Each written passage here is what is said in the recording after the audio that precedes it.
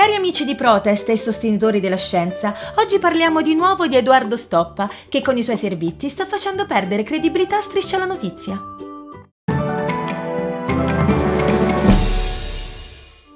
Il buon vecchio Stoppa, dopo aver immaginato inesistenti torture ai danni dei primati, infilato proprio nella scala che penetra la scatola cranica, giusto?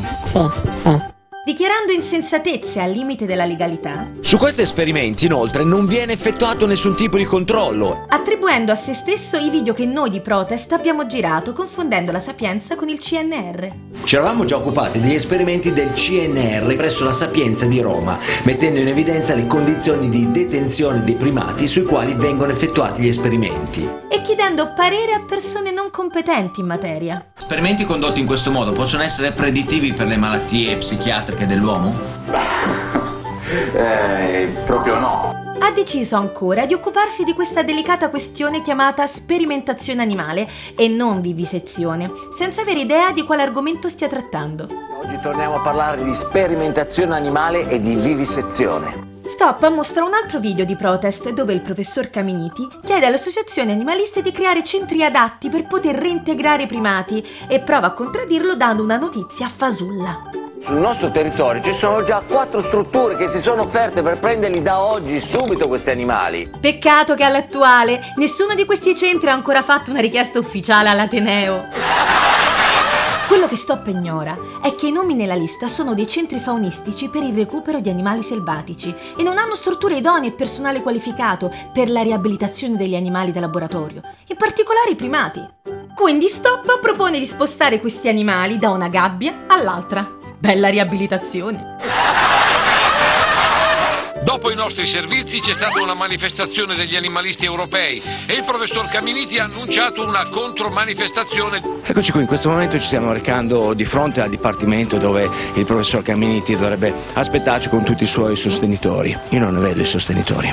Quello che Stoppa non ha raccontato, forse di proposito, è che da parte degli animalisti ci sono state minacce molto gravi ai danni del professor Caminiti e degli studenti e quindi le forze dell'ordine, in accordo con il rettore della Sapienza, per tutelare gli studenti e il professore hanno suggerito di rimandare la manifestazione. Tuttavia alcuni studenti hanno comunque deciso di rimanere accanto al professore chiusi nei laboratori e protetti dalla polizia, mentre invece altri si sono riuniti in un'aula per manifestare lo stesso la loro solidarietà.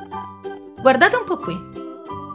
Gli studenti della Sapienza e Protest dicono no alla cattiva informazione televisiva. Stop alla disinformazione!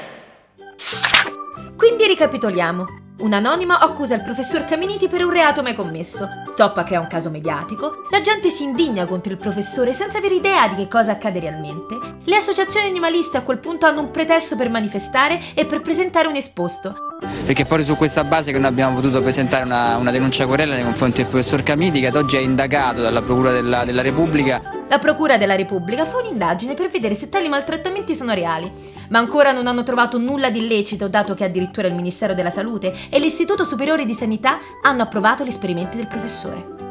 Purtroppo non tutti sanno la differenza fra un'accusa infondata e una condanna, quindi a livello popolare la gente sarà indotta a pensare che il povero professor Caminiti è un criminale. Che sia questo il piano di stop delle associazioni animaliste? Tuttavia ci rimane impressa un'affermazione. Io non ne vedo i sostenitori. Secondo voi è vero che Stoppa non è mai riuscito a parlare con nessuno? Noi di Protest abbiamo qualcosa da mostrarvi. Stiamo andando, siamo in onda. Siamo in onda, abbiamo Giulia Corsini, Protest Italia e Luca qualcosa qualcosa. Preferiamo all'interno oppure all'esterno? Meglio all'interno per una Lei questione di audio. Interno o esterno? Eh, uguale, cosa dobbiamo fare? Dentro. Ok, interno. Sono arrestato? Dentro.